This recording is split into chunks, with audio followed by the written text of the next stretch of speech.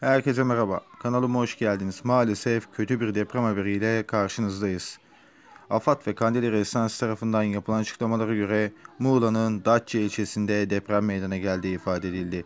Deprem şiddeti olaraktan 4.2 açıklanırken depremin ise yerin 8 kilometre derinliğinde gerçekleştiği ifade edildi. AFAD ve Kandili Residence tarafından yapılan açıklamalarda Muğla, Datça, Yazıköy'e 57 kilometre, Cumali'ye 58,5 kilometre, Yakaköy'e 60 kilometre, Sindi'ye 63 kilometre, Mesudiye'ye 64 kilometre mesafe uzaklıkta gerçekleştiği açıklandı. AFAD ve Kandili Residence tarafından yapılan açıklamalara göre.